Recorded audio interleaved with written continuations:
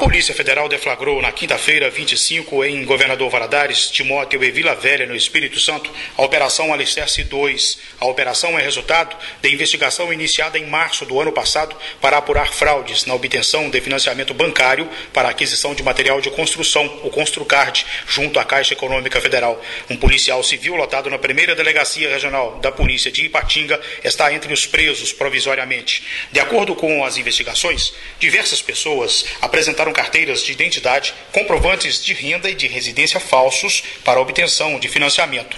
Com a análise da documentação, foi verificada a atuação de uma quadrilha de falsificadores que elaborava a documentação falsa para que terceiros obtivessem os financiamentos. A quadrilha, além de realizar fraudes contra a Caixa, também fraudava documentos em prejuízo de outras instituições bancárias em Governador Valadares e região.